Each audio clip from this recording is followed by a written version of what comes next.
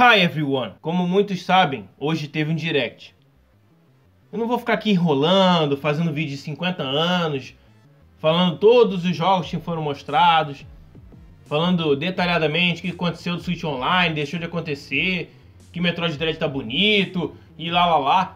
O que eu tô aqui para falar é dos únicos dois jogos que me chamaram a atenção desse direct. E por que, que eu tô fazendo esse vídeo agora? No dia de hoje. No dia que o direct saiu não me importando para barulhos externos e etc. Simples. Hype. Eu estou hypado, eu estou animado, eu estou feliz.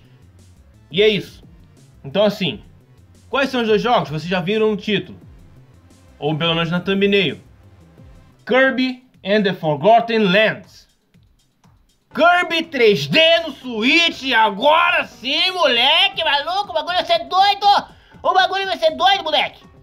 Eu tinha que ter gravado o react para vocês. Eu tinha que ter gravado o react. Eu pirei quando eu vi esse jogo. Quando eu vi o trailer desse jogo na Direct. Teve umas coisas interessantes na Direct? Teve sim. Mas Kirby foi a hora que eu falei: Caraca, agora sim a Direct tá ficando maneira. Agora sim tá mostrando alguma coisa que eu quero ver. Cara, prédio, cidade abandonada, Primeiro, quando apareceu isso, eu não sabia que era Kirby. Pensei que era qualquer outra coisa, sei lá, algum RPG, alguma coisa emocional, algum jogo mais voltado para uma narrativa e tal. Nunca imaginaria que seria Kirby. Então assim, visualmente tá incrível, possivelmente é o mesmo motor gráfico usado desde o 3DS, desde o Wii. E assim, tô satisfeito pra caraca. Tô satisfeito pra Caraca! Nunca na minha vida eu imaginaria que a gente veria um Kirby 3D, ainda mais nessa magnitude, com esses gráficos. E desde o Kirby 64, que a gente não vê o Kirby realmente em 3D. Então a gente está muito tempo sem o Kirby 3D. E o jogo, meus amigos, minhas amigas, ele sai no outono de 2022. Para não dizer que ah, eu não falei de Metroid Dread, etc, eu vou dar uma pincelada aqui. Vocês têm que ir num canal que eu vou indicar vocês agora. Nintendendo. Esse cara sim fala muito bem, se expressa muito bem. E assim, não tem canal melhor para você se indicar para alguém assistir sobre Metroid Dread com coberturas e etc. Ele está cobrindo completamente tudo que sai, trailer, é, todas as notas e etc. Então links estão nos cards, vocês têm que ir lá agora. Vai lá assistir Nintendendo. Eu gosto muito desse canal, ainda não sou inscrito, mas vou me inscrever hoje. Porque com certeza ele vai lançar alguma coisa sobre Metroid Dread. E não só isso, ele é um canal de Nintendo, então segue lá, galera.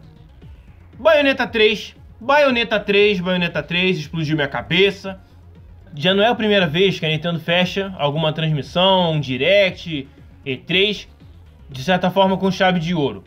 Com alguma coisa que impacte você. para você olhar para trás na direct e falar, pô, valeu a pena. E Bayonetta 3 fez exatamente isso.